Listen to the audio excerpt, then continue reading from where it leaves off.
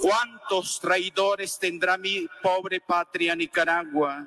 Y no del bando al que señalamos tradicionalmente, sino también entre esos 200 grupos que dicen luchar por ella.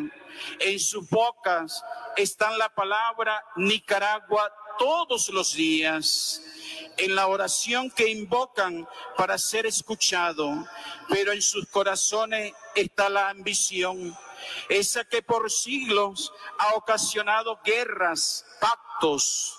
Es lamentable, es como si tuviéramos 250 tribus, cada una con su cacique y cada cacique con la mentalidad de gobernar a todos bajo el pecado de la soberbia, imponiéndose sobre los demás.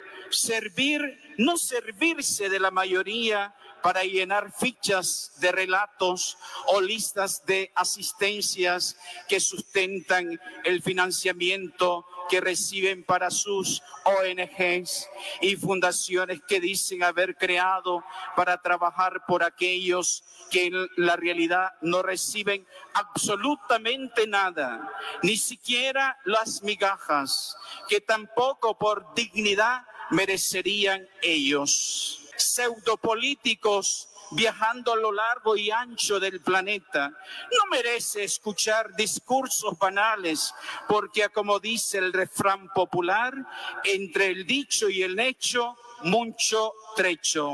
Y por el error de esa falsa oposición, tuvimos a obispos encarcelados, medios de comunicación censurados, exiliados, entre otros. No vivan del dolor ajeno y con virilidad enfrenten cara a cara el problema de hoy que estamos viviendo. Es triste saber que hay entre nosotros opositores, gente que carga sobre sí la complejidad de crímenes pasados, que son coautores de confiscaciones en la época perdida de los 80, que fueron parte del coro vociferante que irrumpió e irrespetó a San Juan Pablo II, que hoy desde el cielo interceda por nuestra patria Nicaragua, y que hoy en lugar de llorar como Pedro y pedir perdón, siguen asusando al desorden, se mueven hábilmente utilizando contexto e influencia para ejercer posiciones a su favor, para jalar agua a su propio molino, como una jauría de mastines, se creen con el derecho de desgarrar la túnica de la pobre patria crucificada. Mientras algunos grupos luchan como pirañas por devorar en gastos burocráticos una donación financiera, adquiriendo un modus vivendi, modo de vida.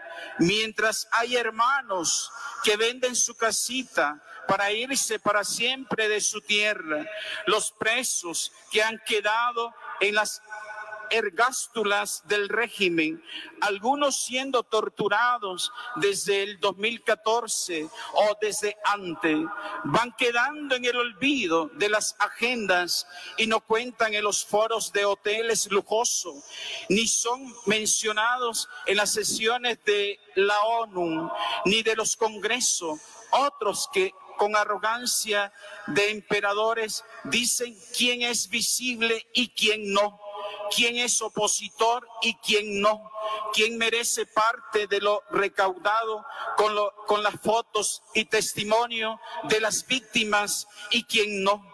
Es vergonzoso y hasta asqueroso nuestro actuar cuando no tenemos como prioridad una lucha sin buscar premio, una lucha sin lucro, una lucha sin buscar el poder o la fama que los judas busquen su lugar después de recibir sus 30 monedas y que dejen de ser motivo de controversias. Si no somos capaces de unir, dejemos que otros avancen, pero no pongamos piedras en el camino de una Nicaragua que está casi muerta. Busquemos el camino de la resurrección.